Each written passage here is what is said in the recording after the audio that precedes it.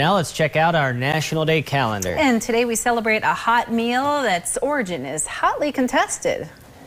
Welcome to September 10th on the National Day calendar.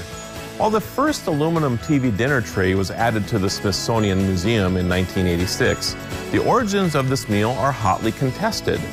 Maxson Food Systems manufactured the first frozen meal in 1945 for military and civilian air travel. The concept was further developed by Jack Fisher, who sold frigid dinners to restaurants and taverns in the late 1940s. But the winner winner chicken dinner goes to Swanson and Sons, whose Thanksgiving meal was first sold in 1953 for 98 cents. Packaged in aluminum, this dinner could be baked in the oven in under 30 minutes. That's pretty good for a meal that normally takes all day to make. And judging by the more than 10 million sold in the very first year, Americans were truly grateful on National TV Dinner Day, celebrate this modern convenience that still holds a place at the dinner table.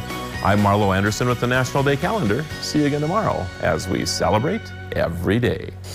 For the list of all the national days you can celebrate today, head over to our website, kxnet.com. And